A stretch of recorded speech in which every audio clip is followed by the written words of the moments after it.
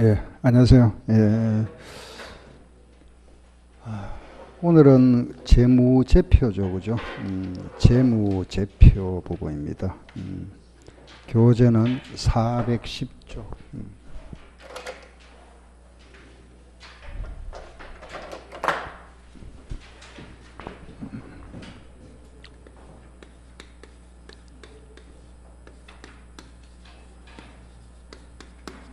재무제표. 음. 410쪽 재무제표. 어, 재무제표 하는 거는 그죠? 결산 보고서죠, 그죠? 어, 요거는 결산 보고서다.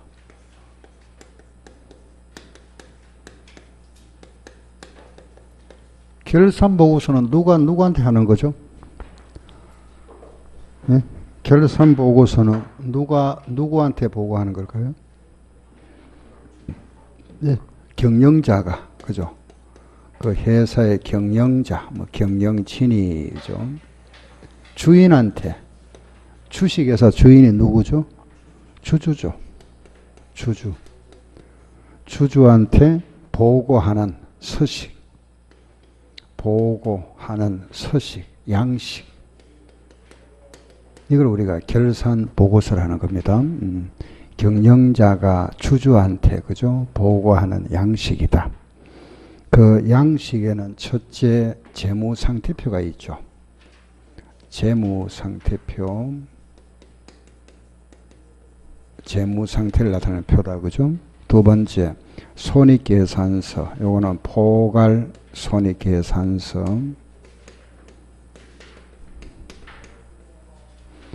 그리고 자본 변동표 자본의 변동을 나타내는 자본 변동표 있고 그리고 현금 흐름표.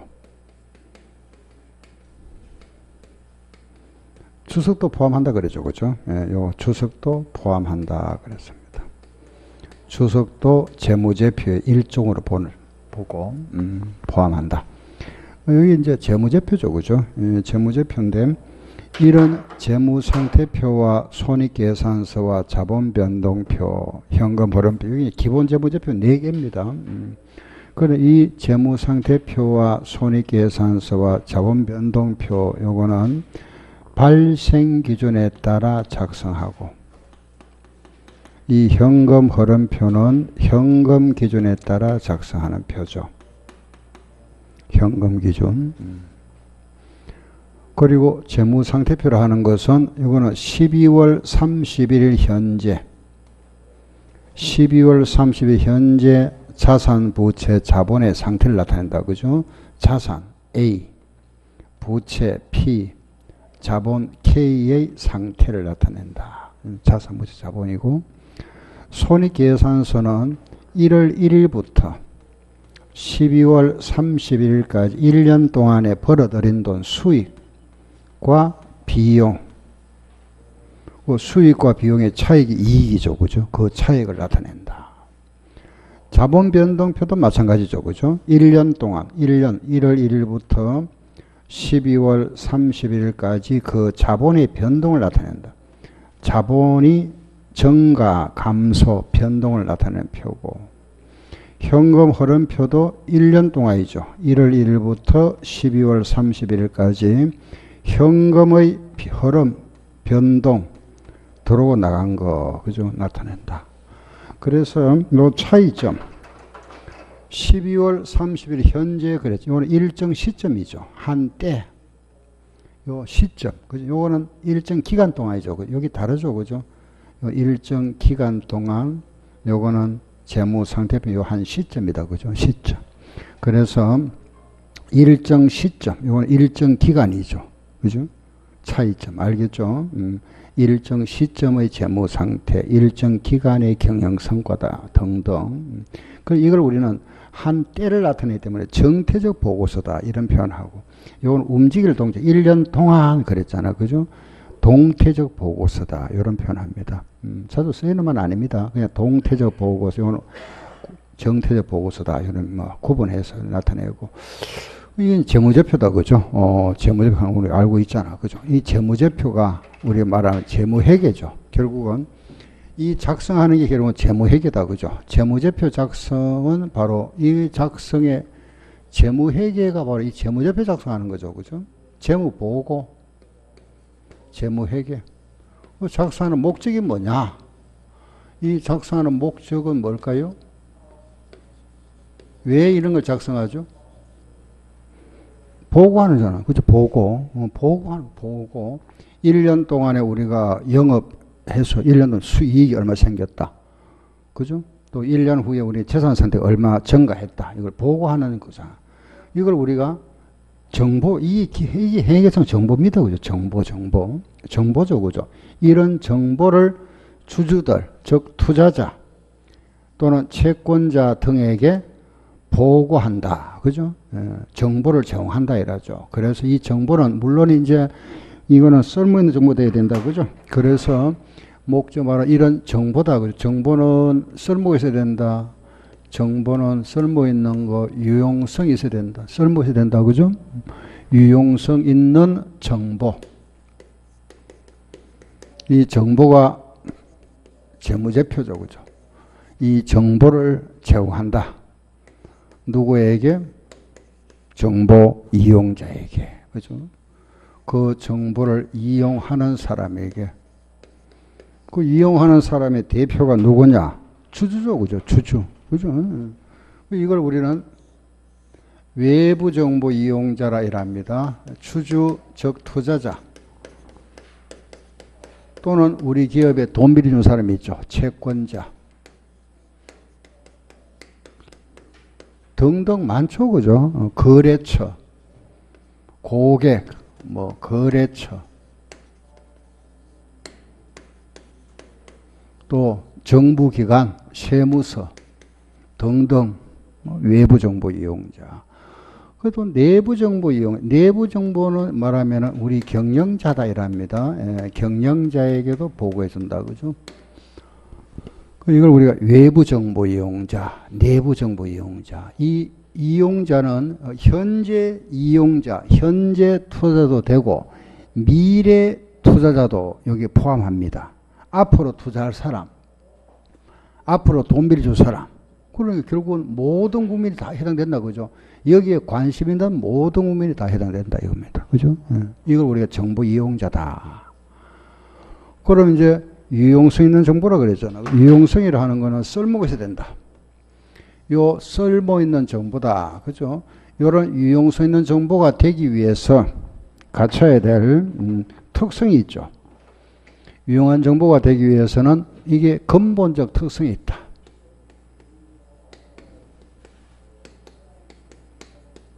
두 가지. 이 근본적 특성이 있고 또 보강적 특성이 있죠. 이렇게, 이렇게 구분합니다. 음, 이렇게. 그이 부분이 요 부분이 어디다 앞에 제일 앞에 보세요. 교재 17쪽에 그 17쪽에 와서 예, 그 보시면은 제일 첫 페이지 있죠. 그죠? 회계 이론적 구조 나옵니다. 17페이지. 요 부분이 이제 이론적 구조에 뒤로 한 넘겨 보세요. 넘어가다 보면은 그 재무복을 위한 개념 책에도 나오고 그죠? 요걸 우리가 이렇게 나타낸 게 바로 22쪽을 한번 보세요. 22페이지. 아래 그림 하나 나와 있죠. 그 그림이 바로 뭐냐 하면은 유용한 재무정보의 질적 특성 돼 있잖아. 그죠? 유용한 정보다. 그 근본적 특성은 목적 적합성과 충실한 표현 이런 식으로 시작합니다. 아시겠죠? 그죠? 예. 그러니 아 정보 정보를 하는 거는 근본적 특성 두 가지 있다. 그죠?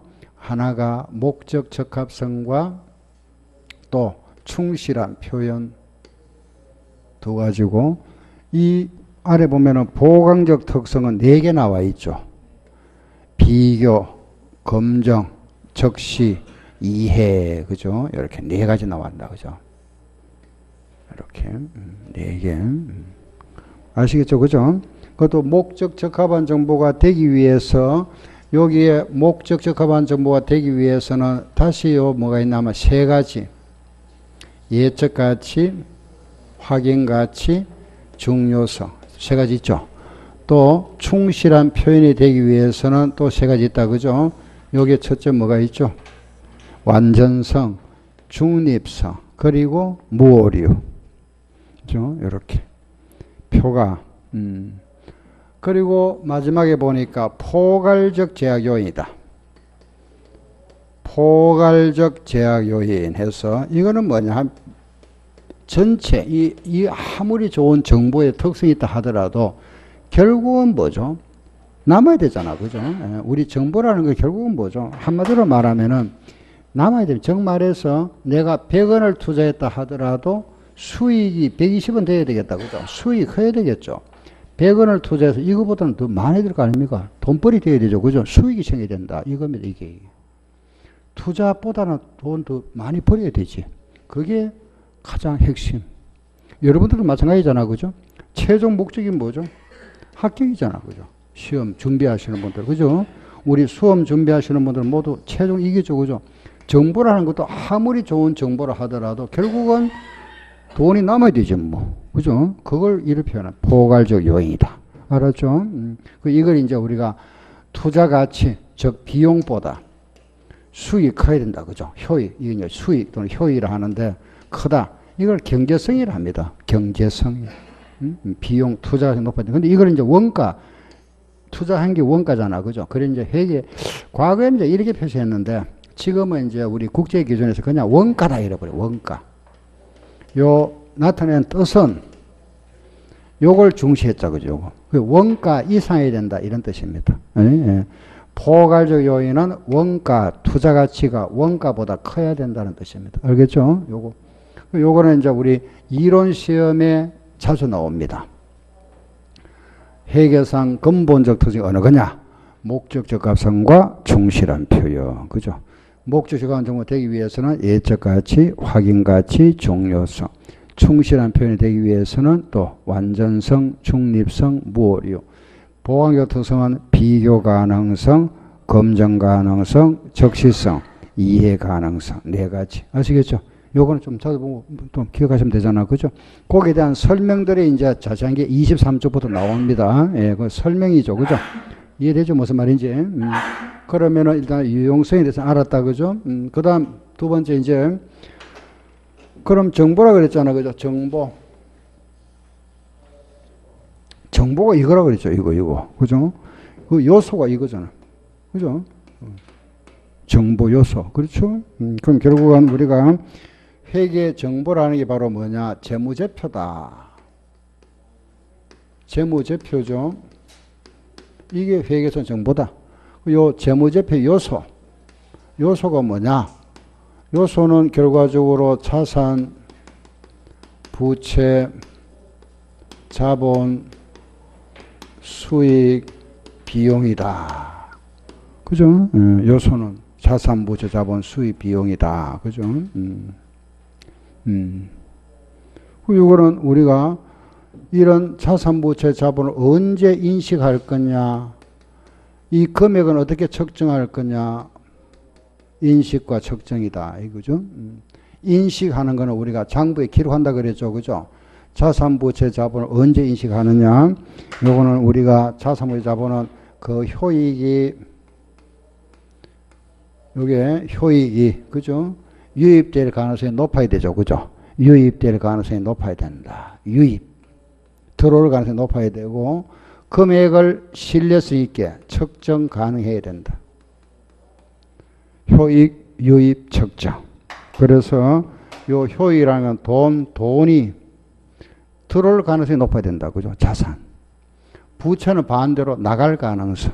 알았죠? 음.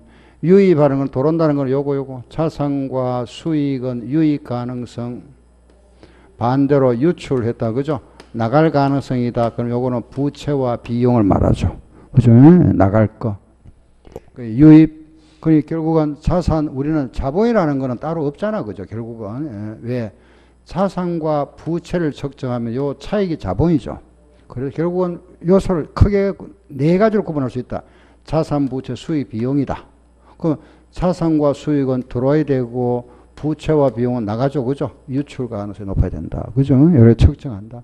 인식하고. 그럼 금액은 어떻게 측정할 거냐. 그죠? 측정, 요 측정은 요 척정은 크게 두 가지잖아요. 그죠? 하나는 원가. 취득 원가로 장부에다가 그냥 놔둘 거냐?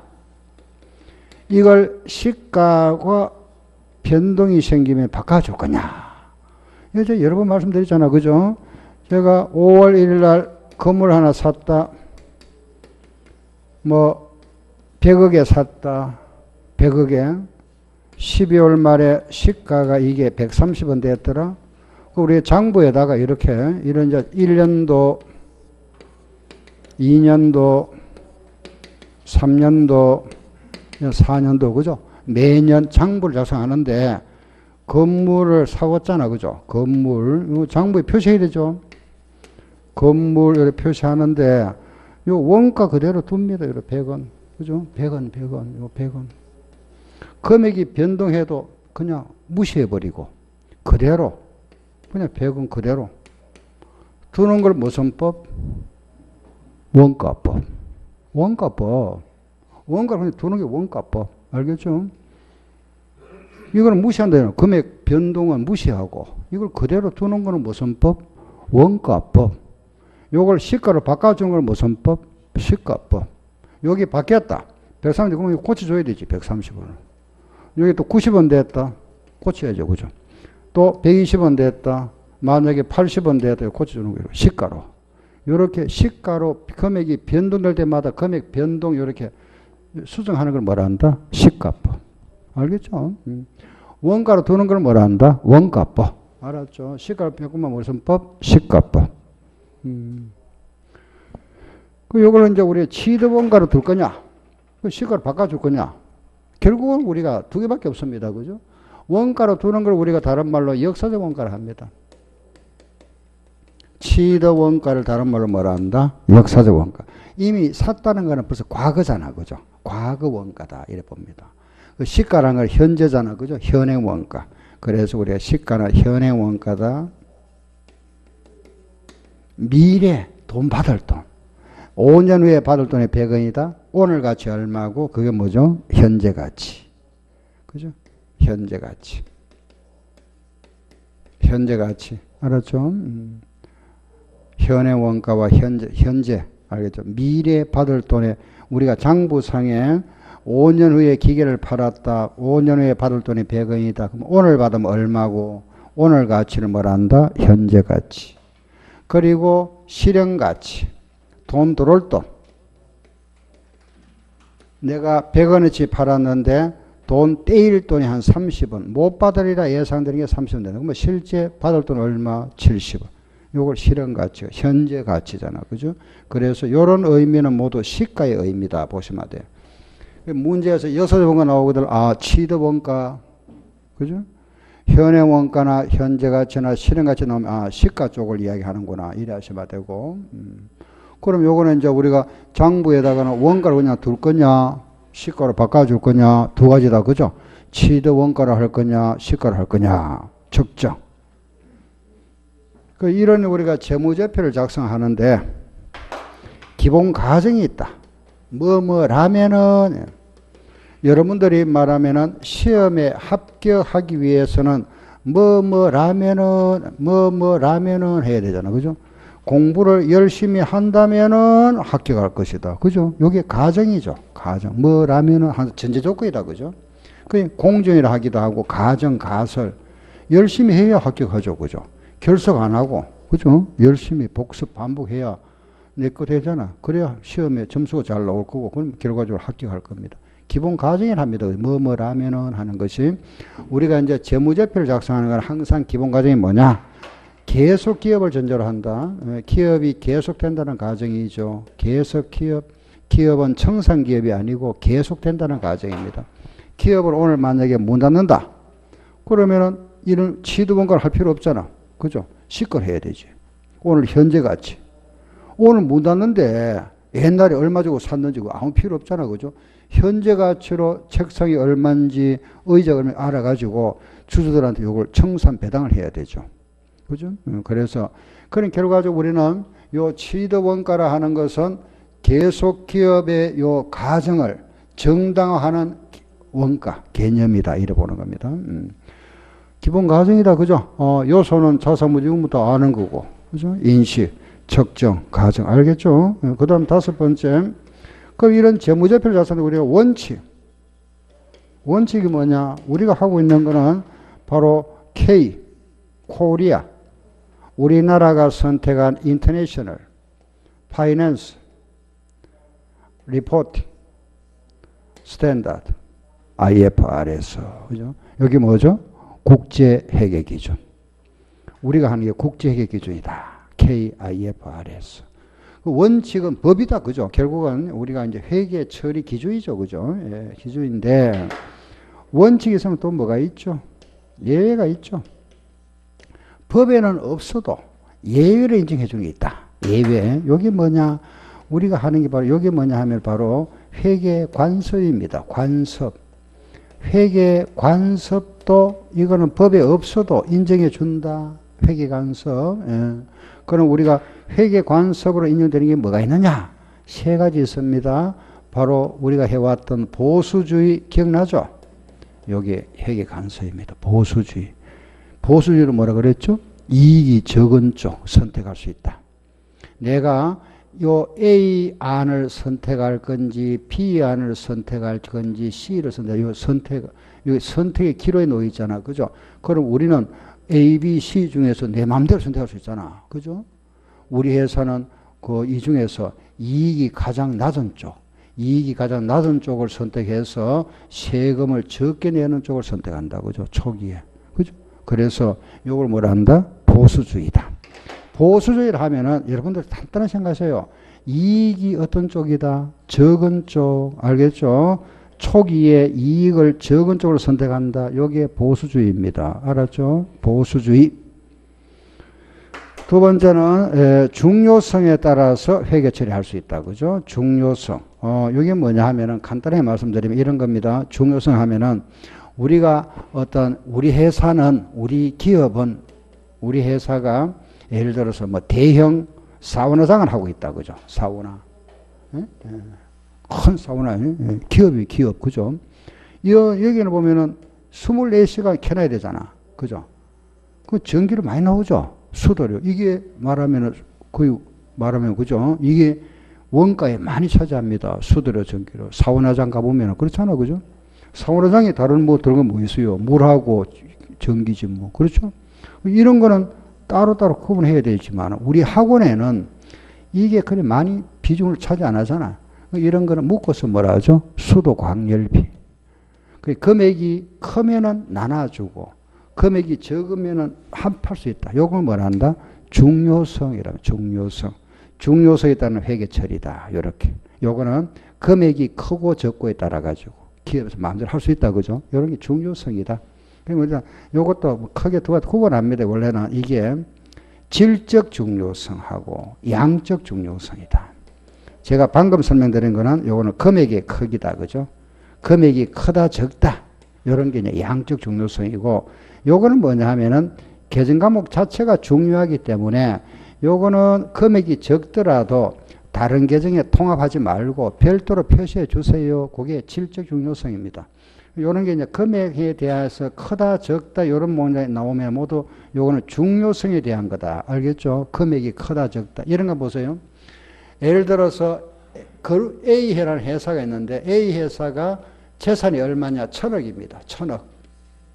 천억짜리 회사가 있는데 이 회사가 4월 5일이 무슨 날이죠? 식목일이죠.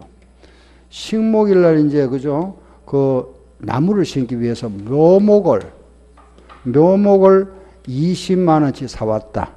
묘목 사고 나서 요걸 그냥 비용 처리해 버렸습니다. 장, 장부상에 그냥 비용 떨어 버렸다. 이런 게 무슨 의미일까요? 중요성. 회사 천억짜리 회사에 20만 원은 사실 금액이 적잖아, 그죠? 이거는 천억에 대한 20만 원 하는 건 사실 뭐 껌값이잖아. 금액이 적기 때문에 그냥 비용 처리해 버립니다. 이런 게 뭐냐? 중요성이다.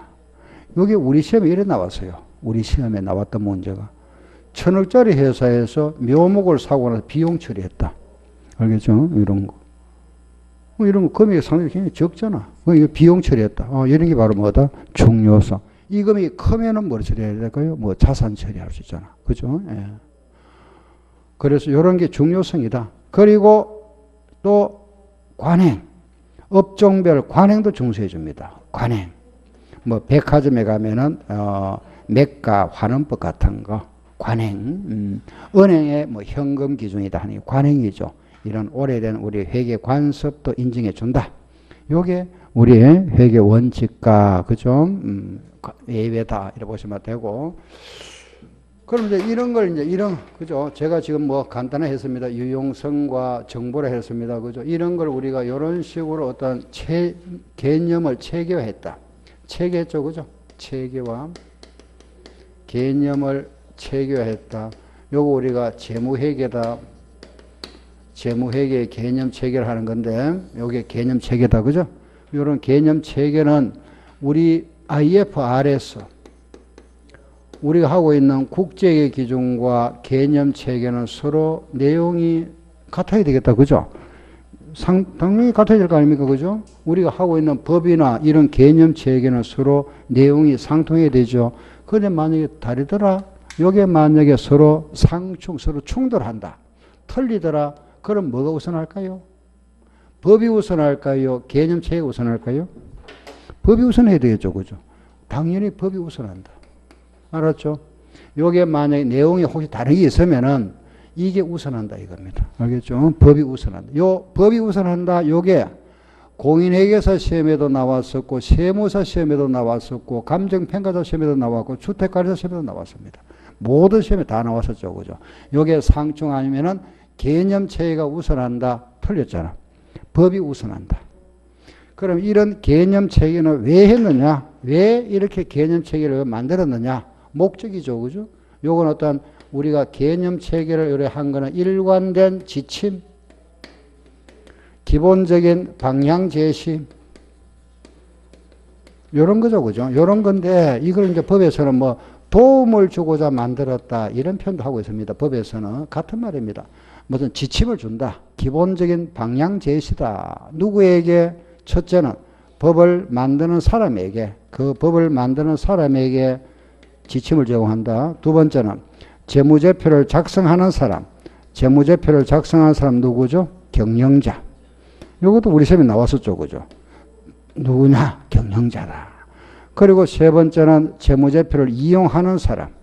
이용하는 사람에게 그리고 네 번째는 이런 재무제표를 감사하는 사람에게 감사인에게 일관된 지침이나 기본적인 방향을 제시하고자 이런 재무회계를 개념 체계했다. 아니요. 요 내용들. 요 내용들입니다. 요게 유용성과 정보에 대한 기본 내용이 있잖아요. 그죠? 그럼 여기 감사인에게 또는 이용자에게, 이용자는 바로 이런 사람들, 음, 작성하는 사람은 경영자, 법을 만드는 사람에게, 알겠죠? 요게 개념 체계의 목적이다. 그럼 마지막에 감사인이 우리가 회계 감사를 하죠. 그죠? 회계 감사를 하게 되면 감사인이 표명하는 의견, 의견은 네 가지가 있는데 잘 됐다. 잘 됐다. 그죠? 아무 흠집 없이 잘 됐다. 그걸 뭐라나? 적정 의견이라. 요 의견을 내는 게 네 가지입니다. 적정 의견이다. 어, 약간 잘못됐다. 그죠? 약간. 아래 뭐 몇 가지 지적사항 나와죠. 그죠?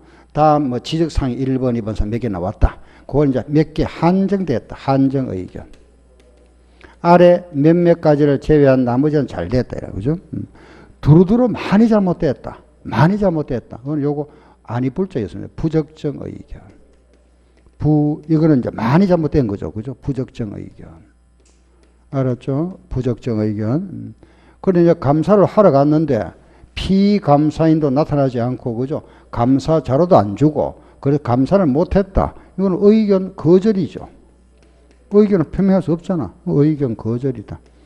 이런 의견 거절이나 부정 의견 되면 바로 세무감사 들어갑니다. 기업에는 음, 의견 거절은 부정 의견은 세무감사 들어가는 상황이고 요거 네 가지가 있다 그죠? 잘 됐다. 적정 의견. 조금 잘못됐다. 한정 의견. 많이 잘못됐다. 부적정 의견. 뭐 의견에 대한 그죠? 감사의 제안을 받았다. 뭐 의견 거절. 네 가지. 이게 시험에 네 번인가 나왔습니다. 우리 시험에. 알겠죠? 어, 아, 이런 거. 어, 요게 우리 말하면은 회계의 기본적인 이론 부분이다 보시면 돼요. 이론 부분. 음. 이거는 계산 문제와 관련 없잖아. 그죠? 이론 부분이다 하는 건데, 여기서는 해마다 문제가 몇 문제씩 나옵니다. 여기서, 뭐, 뭐, 적어도 두 문제 내지 세 문제는 나오는 부분이니까, 음, 이런 부분, 그죠? 어, 유용성, 근본적 특성, 이런 걸 암기해야 되잖아. 그죠? 보완적 특성, 이런 거고. 어, 요것도 몇 번 나왔었죠. 가정 계속 기업이다. 그죠? 보수주의 요게, 예? 요런 거는 이익이 적은 쪽. 초기, 물론 초기다. 그죠? 이익이 적은 쪽을 찾아야 된다. 음, 요런 거. 그죠? 알겠죠? 그죠? 어, 재무적, 음.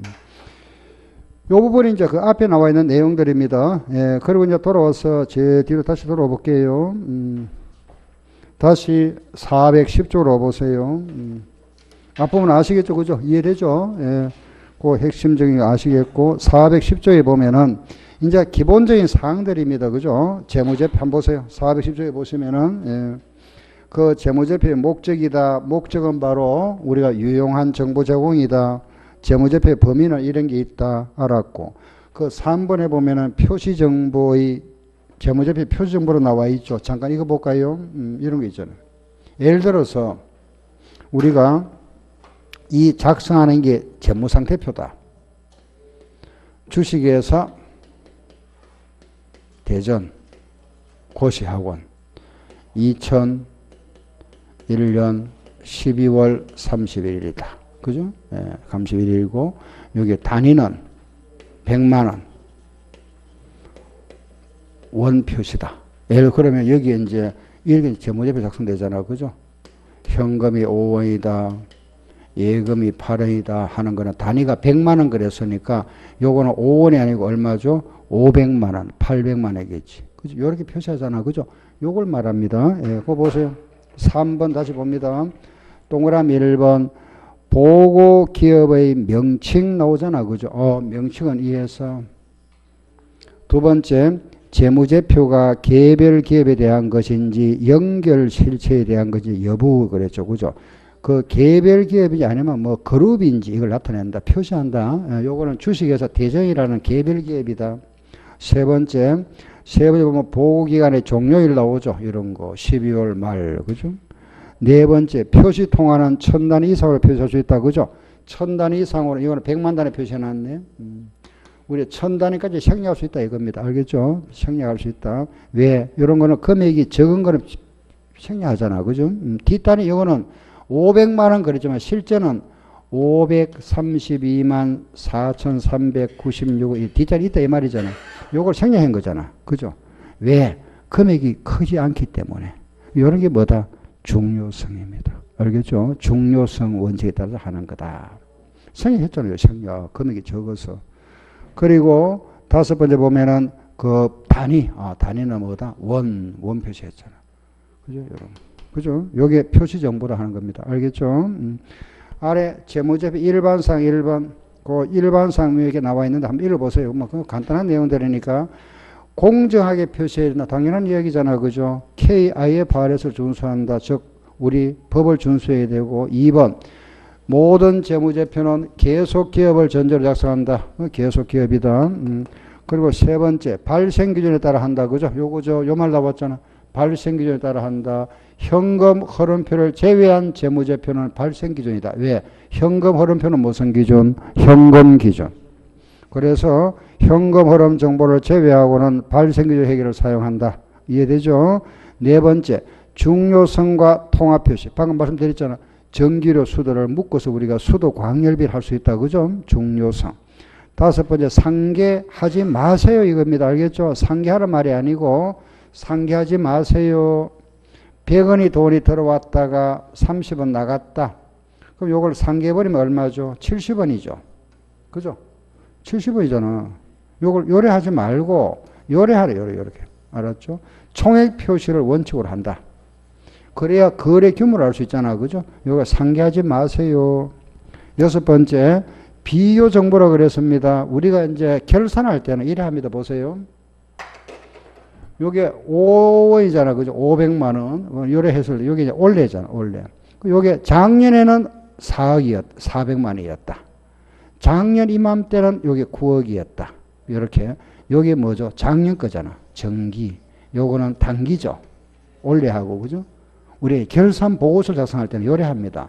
단기와 정기로 이렇게 비교할 수 있도록 이렇게. 알겠죠? 올해 것만 하는 것이 아니고 요것도 표시해 줘야 됩니다. 그래 정기와 단기를 같이 나타낸다. 요걸 뭐란다? 비교 정보라 이랍니다. 아셨죠? 비교 정보. 음. 다음 뒤로 가면 8번 표시에 계속성이 나와 있다 그죠? 계속성 이런 표시를 우리가 정했으면은 계속 표시 똑같이 하지 중간에 이걸 갖다가 이렇게 예, 다른 걸로 또 바꾸지 마라 이겁니다. 뭐 100만 했다가 천 원 했다가 이렇게 예, 이걸 갖다가 다른 걸로 변경하지 말고 한번 정하면 계속 하세요. 그게 계속성이다. 그죠? 알겠죠? 그죠? 예, 요래 하는 겁니다. 예, 그리고 다른 거는 됐고, 다음에 413쪽에 아래 내려갑니다. 3번 한번 보세요. 그 필요한 건 제가 좀 체크해 드릴게요. 413쪽에 아래 보면 3번 나와 있죠. 양가로 3번. 자산부채의 표시 방법. 첫 번째, 원칙. 원칙, 우리가 자산부채를 나타낼 때는 요래 나타냅니다. 유동과 비유동으로. 요거 기준은 몇 년이죠? 1년. 유동자산과 비유동자산 요래 나타내는 게 원칙이다. 그 예외가 있다. 예외는 뭐냐? 유동성 순서에 따라 나타내는 방법. 또는 일부는 유동과 비유동, 일부는 유동 순서다. 그죠? 요걸 짬뽕, 그 요거 우리가 혼합법이다. 이렇게 표현하기도 합니다. 원칙은 뭐다? 유동과 비유동. 알았죠? 예, 원칙. 예외는 현금이 빠른 순서, 유동성 순수로 나타내고 이걸 일부는 유동과 비유동, 일부는 유동 순수로 할 수 있다. 이거 짬뽕 할 수 있다. 그죠? 호원합법이. 이게 시험에 원칙은 유동성 순서다 하면 틀리잖아. 그죠? 원칙은 항상 뭐다? 유동과 비유동이다. 이해되죠? 그죠? 유동과 비유동이 원칙이다. 음, 요거 하나 딱 체크하시면 됩니다. 예. 됐고. 뒤로 넘겨보세요. 뭐 다른 거는 특별한 거 없습니다. 음, 없고 그 다음 쭉 넘어가서 419쪽으로 가보세요. 음, 419쪽에 보면은 거기에 8번에 보면 비용의 분류가 나오죠. 비용의 분류 그거 하나 보고 갈게요. 음, 우리가 이렇게 갑니다. 그죠? 손익계산서를 작성할 때 여기 보면은 손익계산서다. 그죠? 우리가 수익 얼마 여기 비용 얼마 적어주죠. 요거 뺀 걸 뭐라 하죠? 단기순익이라 하죠. 수익에서 비용을 단계 수익, 요 비용을 우리가 요 비용 계정을 나타낼 때 요거 요거 있잖아. 그죠? 비용을 뭐 이래 표시도 되고 뭐 여러분들 뭐 편한 대로 할게요. 요 비용을 나타낼 때 이래 나타내잖아. 잡비 얼마. 그죠? 얼마. 뭐 광고료 얼마. 그죠? 또는 뭐 어, 잡비 얼마 또는 소모품비 얼마 이런 식으로 원래 이런 식으로 나타내죠. 그죠? 원래 이런 식으로 나타냈습니다. 원래부터 뭐 잡비, 광고료, 성호품비, 뭐 임차료, 이자 비용 이렇게 계정 과목별로 그죠? 이렇게 원래 한 이렇게 해왔었는데 이 방법을 우리가 그동안 해왔던 건데 이렇게 나타내는 걸 이렇게 표시합니다. 성격별 분류다 이래서 알겠죠? 예. 우리 국제 기준에서는 이걸 이제 나눠버리죠. 하나 더 기능별 분류 이렇게 해서 이렇게. 알겠죠? 이렇게. 그 요거 둘 다 선택할 수 있다. 기업에서는 원래 이게 없던 겁니다. 이거는 없던 건데 이게 이제 국제의 기준이 2011년에 도입되면서 원래 하던 식대로 해도 되고 요걸 이래 보세요.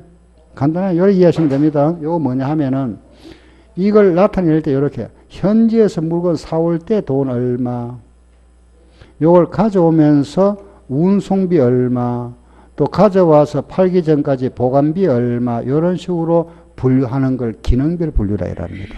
알겠죠? 분류를 그래 이를 따로다 이렇게 계정과목별로 있잖아. 잡비, 광고료 원래 하던 식대로 하는 걸 무슨 분류? 성격별 분류. 요걸 이제 말하면은 그죠? 어떤 그 과정별로 나눠버리죠. 그죠? 나눠가지고 현지에서 사올 때 얼마, 가져올 때 얼마 돈 들어갔고, 보관할 때 얼마 들어갔다. 요래 구분한 걸 무슨 분류? 기능별 분류를 합니다. 무슨 말 알겠죠? 그죠? 요래 했는데, 그걸 요래 하면은 요래 하랍니다. 기능별 분류를 이렇게 풀면 했을 때는 이때 여기에 들어간 돈 있잖아. 요걸 다시 요 속에 요거 있잖아. 요 속에 잡비가 얼마 들어갔고 광고료 얼마 들어갔고 소비 얼마 들어갔고 요걸 또, 또 나눠랍니다. 이렇게 이렇게. 여기에 또 잡비가 얼마, 광고료 얼마, 소품이 얼마, 여기에 또 잡비 얼마, 광고료 얼마 이렇게 구분하랍니다. 이렇게. 알겠죠? 자, 그러면은 다시 우리가 비용을 분류하는 거는 두 가지가 있다. 무슨 분류? 성격별 분류와 기능별 분류. 예, 어느 게 복잡죠? 이게 복잡잖아. 그죠? 이게 복잡지만은 이게 우리가 복잡지만은 정보 이용자 입장에서는 요게 보다 더 무슨 정보 될 수 있다? 유용한 정보가 된답니다. 우리 정보 이용자 입장에서는 우리가 볼 때는 뭐 이렇게 하나하나 나눠보다는 그죠? 아 묶음별로 이렇게 나눠놨으면 우리가 보기에 편하다 이 말이죠. 정보 이용자 입장, 소비자 입장에서는 요게 보다 더 무슨 정보다? 유용한 정보다. 그럼 요런 기능별로 분류한 경우에는 다시 또 요걸 뭘 해줘야 된다? 무슨 분류로? 요걸 뭐라 그랬죠? 성격별로. 요래서 요 다시 또요 재분류해야 된다. 그죠? 재분류.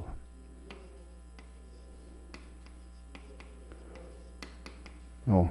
자, 여기 세 가지. 그죠? 요 시험에 세 가지 나옵니다. 두 가지 있다. 그죠? 성격별 분류만 인정한다. 틀리잖아. 뭐 분류? 성격별과 뭐가 있다? 기능별 두 가지고. 어느 게 유용한 정보다? 어느 거? 기능별. 기능별로 했을 때는 다시 뭐라 해줘야 된다? 성격별로 재분류. 요 시험에 성격별로 분류한 경우에는 기능별로 재분류하여야 한다. 틀렸죠. 기능별로 했을 때 뭐라 한다? 성격별 재분류. 그죠? 무슨 말 알겠죠? 요게 보다 중요한 정보다 이렇게 말을 딱 틀리게 만들어 버립니다. 요거 세 가지만 아시면 되죠. 음. 다음 뒤로 가서 다른 건 됐습니다. 음, 여기까지 음, 하고 나면은 이제 426쪽에 가면은 예, 우리 이제 재무제표에서 여기에서 이제 해봐야 될 공부 이제 알아봐야 될 게 바로 뭐냐면 이겁니다. 이제 다음 시간부터 이거 이거 이거 알겠죠? 음, 여기에 대한 거. 이 재무제표에서 이제 시험에 나오면 이게 잘 나오죠. 지금까지 이 부분은 이제, 이제 기본적인 우리가 이론 부분이고 알겠죠? 이론 부분인데 요거 요 현금 흐름표. 예, 예, 그 내용이 이제 교재 보면은 426쪽이다. 그죠? 예, 그 426페이지. 요게 다음 시간에는 현금 흐름표에 대해서 말씀드릴 겁니다.